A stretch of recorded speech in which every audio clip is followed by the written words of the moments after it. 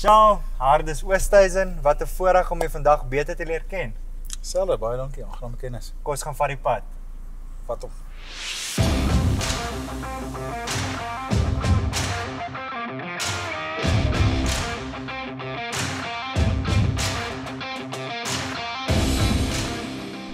Wat 'n voorreg het ons vandag om met Charles de Klerk, die eienaar van Greengate Horticulture, culture en ook ehm uh, te gaan die kwekery nursery bietjie te te journey al die pad van Hartbeesfontein. Dankie dat jy tyd uitgekoop het. Dis Ja, se plesier man.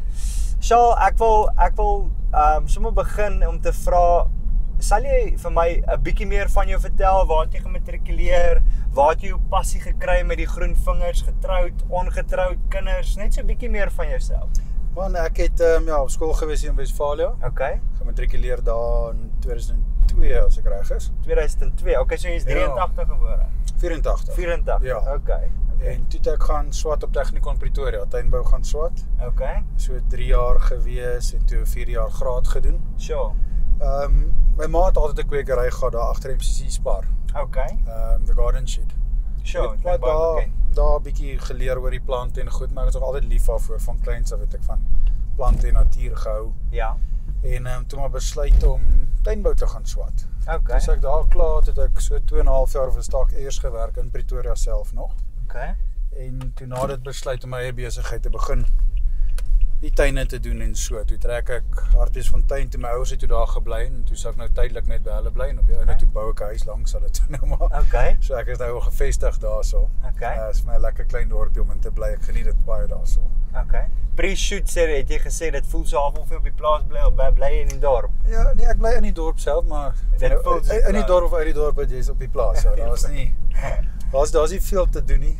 Uh maar jy het al jou basic essentials wat jy nodig het, kan jy maar daarso kry. Ja. En dan ek is my elke dag in Klerksdorp. Ek Ja. werk elke dag hierso. Ja. Uh my ma help my uit by die kwekery en ons het 'n ander tannie ook daarso. OK.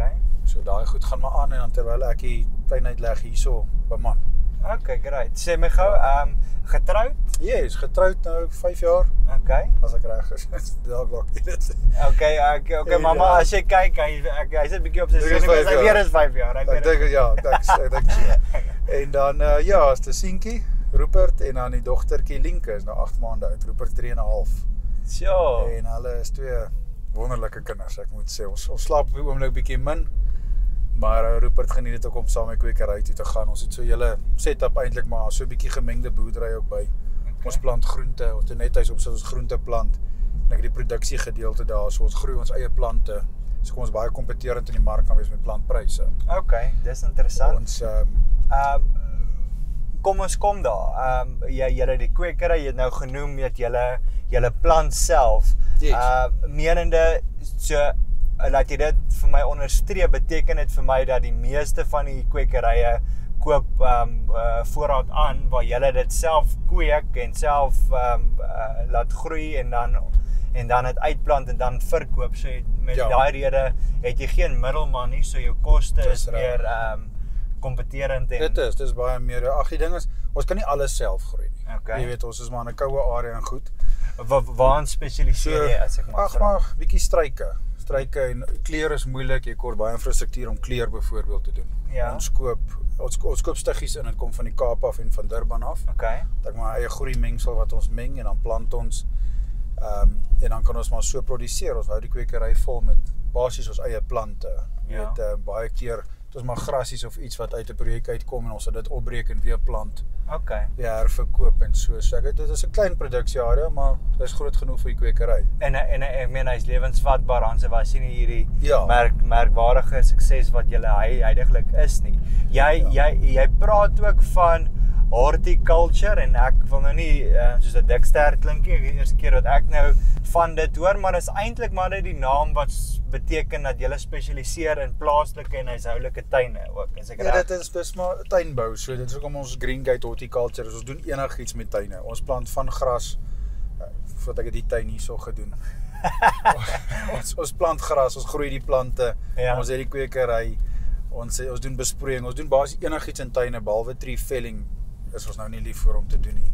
Ja, ja, 100%. Ehm, maar anders as dit doen ons enigiets. Ons het 'n hele ruk terug 'n projek gedoen in Otteshel wat ons ehm um, endangered species plante vir hulle moes gaan skuif. Hulle het 'n 'n ehm um, spoorweë link gemaak Okay. en daar was klomp endangered species wat moes geskuif word. Dan moet hulle nou 'n tuinboukundige gebruik om dit te doen. Jy kan nie net enige ou vat nie. Ja. Dit is so 3 weke daar gaan plante skuif en dan met 'n GPS plot en sê dit is nog 'n storie en jy hele report skryf en alles. Ja.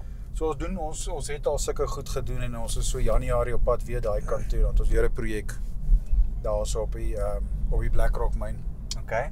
wat ons daai wat ons eintlik nou gaan landscaping doen. Maar ja, soos ek sê, dis maar enigiets met tuinbou te doen, doen ons. Sê my gou, jou hartklop vir die besigheid is maar die verkoop van plante Ja. en dan ehm um, die die tuine, die tuine vir ek praat net maar van huishoudelik of besighede wat ook al. Dit doen julle in Klerksdorp. Meestal in Klerksdorp. Ja, ons al ver gewerk, het al tuine gedoen Carltonville, Vryburg, Amalia. Ehm um, Swizer. Ons ons werk maar ver, ons ons werk daar kry. Dit is moeilik baie keer. Hierdie is maar meer plaastuine. Omdat ons uit 'n plaas setup kom, verwys die mense maar mekaar baie. Ja. Ek doen baie werk in Botawil ook. Okay. Ek het nou weer 'n groot projek daar afgehandel. Okay. Ehm um, so ons as ons werk dan gaan werk ons daar. Dit is nie dat ons net fokus op Klerksdorp nie. ja. Ehm um, dit is maar Maar- maar maar mens mag gaan waar jy kan. Sê my gou maar dit is nie regtig tuindienste nie. Dit is meer Dis glad nie tuindienste dit, dit, nie, dit, ja. dit, ek wil net hê die publiek moet verstaan. Dit is maar tuin uitleg, die regte blom of die regte plant of die regte een- struik vir ja. die vir die vir, vir koelte, son of wat ook Ja, al. kyk dit is dis of 'n 'n nuwe routuin wat jy kry Ja. of baie keer doen ons um, net 'n rearrangement amper wat die ou nodig het. Sy tuin het geen struktuur. Die ou die ou sou hier bel en sê hoorie maar sit eintlik de mekaar. En as jy daar kom is maar net dis verkeerd gegroepeer, verkeerd geplant, Ja. dan kan ons dit vir hom regkry. Want Ons Okay. het nou die kennis om dit te doen mos nou maar. 100%. En dan wat ons ook doen, ons het 'n diens wat ons eenmalige skoonmaak doen as dit so Augustus tyd is. Dan het ons baie tuine wat ons moet skoonmaak. Ons skerfine top dress die gras. Ons maak ons eie lawn dressing mengsel Okay. en ons het baie goeie kunsmis wat ons ook daarbey gebruik. So ons begin maar daarmee en dan begin die tuine maar later inkom. Ja. Weet die mense moet maar eers reën bietjie warmer word vir hulle regtig landscaping self wil hê. Ja. So so in normaliteit werk dit. Hulle kontak jou op jou selfoon. Ja. Ehm hulle maak met jou afspraak, jy kom uit en jy lê die tuin kwoteer en dan ehm op aanvaarding van kwotasie deposito toe en dan begin jy met die werk. Ja, dis maar ons gewoonlik werk. Ja, ons het baie bestaande kliënte wat lekker is. Dit is lekker as mense jou weer bel en jou weer gebruik, dan weet jy hulle was daarom tevrede. Yes. Ehm Yes. so ons het baie tuine wat ons byvoorbeeld reg deur die jaar na kyk. Okay. Die mense jou bel en sê nee, hulle soek nou 'n bietjie kleurplantjies of hulle dink dit moet gebeur of dit of kom sien ons maak voorstelle. Maar werk ons so 4 na 5 keer 'n jaar in daai persoon se tuin as dit nie meer is nie. Okay, 100. Dan maak ons hulle tuin vir hulle mooi en kyk mooi na hom. Ek wil jou ek wil jou half 'n konfronterende vraag vra. ek dink ek dink ehm um, ek is in die motorindustrie en en, en daar kom baie verskillende tipe handelaars en wat ook al ook op. En Ja. ek meen ek dink in jou industrie elke ou wat nou groot geword het en dalk 'n passie gehad het of soms sy ma tuine gedoen het, begin een of ander kwekery of is sien homself as 'n kundige op die gebied. Wat sal jy sê maak julle anderste? Hoekom hoekom sal 'n ou soos ek sê, "Oké, okay, Shaal, kom ek bel jou vandag because X, Y en Z." Dis eh, dit sal vir my baie betekenis. Ag, wat die ding is maar ek weet nie, mense hou seker maar net vir my om. Nie. nee, wat ek ek so ek sê ek het daarmee experience. Ek het 4 jaar geswat vir tuinbou. Okay. Ek het lankal die passie. Ek is baie lief vir plante. Ek ek soos my hobby is ek versamel ook plante. Ja. Ons is heeltemal in die plantding maar in. Dis Okay. is my groot ding. Ja. En uh, ons probeer maar altyd die beste diens gee. Okay. Ons gaan ook terug as ons foute maak en so kyk ehm um, as jy lief is vir tuin maak, is dit nie rocket science nie. Dit is maar so, jy kan dit dan doen. Dit is maar dit gaan op jou ander vraag oor kliënte diens wat jou kliënte kan lewer. Die diens, die produkte, kwaliteit plante natuurlik. Wat ehm um, die die sleutelwoord wat ek gesoek het, het ek gekry en dit is dis 'n hobby en dit is jou passie. Dis goed Ja. wat jy doen en ehm um, uh met al my gesprekke met al die innoverende mense van Klerksdorp en omgewing en platteland is dit is dit vir my opmerklik dat die ouens se suksesverhale, ek meen van koffiewinkel na prokureurs na ehm um, cellulêre plekke toe hulle hulle manier van praat is infectious want hulle is Mm. passievol oor Ja, wat ja. hulle doen. En en yes, op die einde van die dag is dit om jou gesin te te te voor voorsien Ja. en al daai goeders is 'n given. Maar jou fokus is nie net geld nie. Jou fokus is jy deur die hele gesprek het jy vir my gesê Harris, maar oh, is dis maar baie plaaslike verwysings. Dit is maar 'n uh, vorige werk wat mense weer na my toe kom en Ja. as gevolg van ehm um, die kwaliteit ek gelewer het. Jy het genoem as jou passie. En en en dis waar ek uit wil uitkom want ek ek het die ehm uh, uitkyk dat waar jy waarde toevoeg, mense laat ingeligte besluite neem en en dalk bietjie kennis by hulle los Mm, ja. en hulle bekragtig. Dan voel hulle empowered by jou en ehm um, deur middel van dit volg sal geld jou volg, maar jy jaag nie geld nie. Dit- dit en is so, ja, en ek dit weet is- nie of stem jy saam met my opsomming nie. Nee, ek stem saam met jou. Die die ding is ons industrie is dis 'n baie moeilike industrie. Jy weet ons ons gaan half dormant in die winter dan gebeur daar niks nie, want almal dink jy kan nie dan plant, jy kan dan niks doen nie. Ja. So jy moet maar kyk jy jy moet in ons industrie jy moet 'n plantmens wees. Enige ou enige ou gaan dit nie kan doen nie as jy nie 'n passie vir plante lief is daarvoor nie. Ja. Moet jy nie eers probeer 'n kwekery of landscaping doen nie, want jy moet regtig lief wees. Soos soos ek ek ek is nou glad nie. So jy moet dalk dan maar nie doen nie. uh, jy jy jy treat my nou glad nie om 'n uh, 'n uh, plantjie vir my neer te sit en te sê, so ek is jou ideale kliënt. Maar die, much, ja. die, die die die groot ding is ek weet mense kan dit self doen. Ja. Maar as dit nie vir jou passievol is nie, dit is soos ek sou nie sê ek's die grootste karwasser nie, maar as ek 'n karverkoper is Ja. en jy was jou eie kar, Ja. eh, is dit nie omrede iemand dit nie beter as jy kan doen, is kom jy 'n passie het hoekom rede. Nee, dit is dis en verseker. en dit is nou in tuine is ek nie so nie. So Hmm. dis dis dis vir my dis vir my great om te hoor dat daar mense is met sulke passies soos jy. Ja. En as besigheidseienaars om dit goed self te kom doen want wat jy normaalweg kry is okay, hier kom 'n voorman of hierso is iemand Dis by jou so, huis ja. op en hulle nee, Charlotte gesê dis wat ons doen en en dis wat ons Ja. gaan doen. Of hulle nou sien dis reg of verkeerd, Ja. hulle gaan dit aan. Dit is ons probeer maar soos 'n persoonlike verhouding met ons kliënte opbou. Ek ek hou daarvan dat jy met mense werk, jy ken hulle, jy kom goed oor die weg met hulle. Dit is dis nie 'n onpersoonlike besigheid waarna ons is nie, jy weet jy jy met die mense as hulle weer in die kwekery kom dan praat jy weer met hulle oor die plant hulle laas gekoop het en die, of die projek wat hulle aangevat het. Ja. Baie keer kom mense ook by my dan wil hulle self tuin maak, dan bring hulle foto's, dan gee ek vir hulle raad. Jy weet ons teken gou vir hulle plannetjie, ons sê doen dit dit dit dit. Ja. Hou jy daarvan? As hulle nie daarvan hou nie, dan kan ons mos nou maar die plante uitruil of die weer die die die, die design bietjie verander. meer en weer bietjie waarde toevoeg sodat almal Ja, net 'n jy weet hulle hulle self- geldkomponent Ja nee, as jy dit self wil doen by all means, Ja. ehm um, doen dit self. Ek help jou, jy koop die plante by my. Dis dis nie 'n probleem nie. Ons Dit ons is- werk baie keer so. Dit is nie Dit is dis regtig spesiaal. Wat ek ehm um, um, hoe lank is julle nou al in die kwekery? Hoe lank is bestaan jy so julle? so 12 jaar doen ek nou 12 landscaping, jaar, sure. maar die kwekery is nou 2 jaar oud. Ons het Okay. eintlik 2 jaar terug 1 Desember oopgemaak.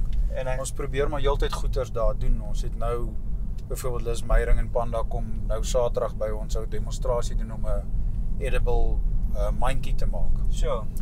En dan ons het maar heeltyd ons het eintlik elke jaar 'n tuin expo ook wat ons laas jaar begin het Okay. wat ons groot afslag aan kliënte toedien. Ja. My my verskaffers gee vir my 'n groot afslag en ek gee dit so direk aan die publiek. So. So jy koop daai naweek teen 30 of 40% afslag ek gee jou plante. So, yes, dit Ons is wil net 'n groot ding hou en dan het ons praatjies, weet dis boomkenners, dis ouens wat die vrugtebome ken. Wanneer is dit nou? Dis krye. Dis gewoonlik elke jaar Oktober, maar ons het hom die jaar geskiep as gevolg van COVID.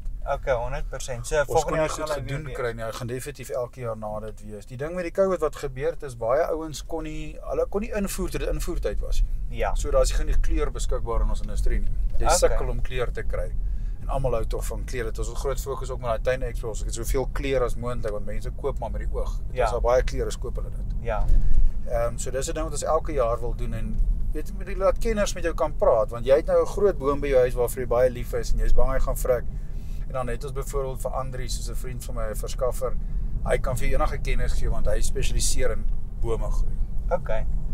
En dit dit help die, die die publiek hou van sulke goeters. Ons het vir Dani ook gehad, hy's ons hy's ons vrugteboom hou. En hy kan vir enigiets vertel. Weet hy kom sy oupa het ook vrugte, sy oupa sy pa almal het vrugtebome gedoen. So hy het Ja. regtig kennis. Ons probeer daai ouens daarso kry en dan 'n lekker ding aanbied soos wat hierdie ding met Lis Meyering nou gaan net 'n lekker oggend wees Ja. vir klomp dames. Ons het klomp wat van Potchefstroom deurkom, Ottosdal.